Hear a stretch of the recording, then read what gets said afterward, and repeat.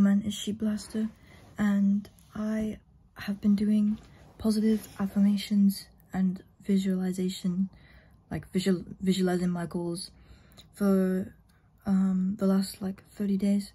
I've been doing it every day. And i just want to say they've been working okay? But it's not because of the visualization. The visualization is helping me take action towards the goals.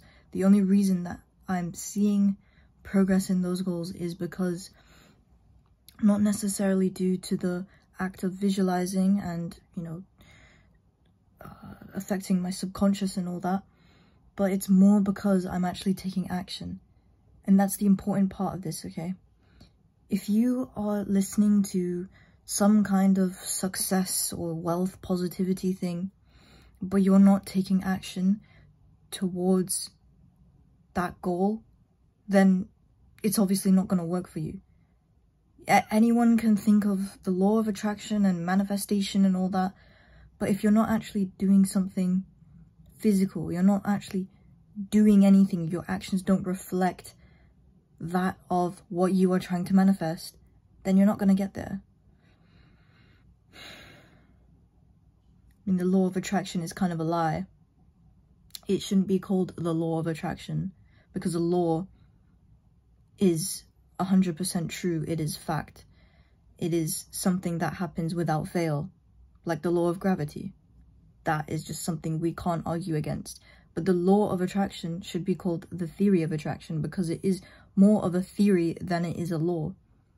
Not like it's it, like I've just after doing these visualizations have I realized this. Like I used to think that the law of attraction was like a real thing, but I suppose it is good to have a positive mindset and, you know, for your brain to be wired in a specific way to achieve those things that you want. But if you're literally just sitting there and closing your eyes and visualizing yourself with that success, but you're not actually working towards it, you're not actually sitting down every single day to work on whatever it is that you want, how the fuck are you gonna get there? You're not gonna fucking think money into your lap. It doesn't work like that. You can't just manifest the lottery of winning. Like, like even if you did win the lottery, you'd probably like blow it all anyway, like in a few years. So yeah, that's just me on 30 days of positive reaffirmations. Gosh, it's been pretty good though. Like for me, I've been doing it right before I actually work. So it actually aligns my current feelings towards wanting to work. So work doesn't feel like work, it actually feels like something I want to do.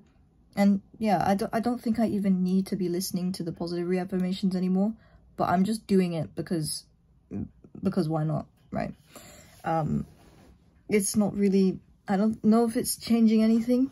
It's not like I've started listening to a certain thing for 30 days and then all of a sudden it just, you know, all of a sudden, oh, I've got millions of dollars. Like, no, that's not going to happen.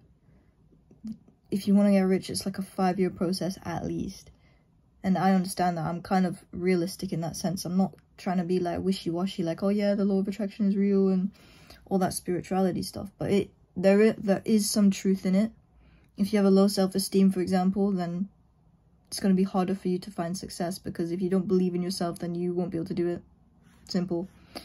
Um, so yeah, that's, uh, that's just some observations. Peace.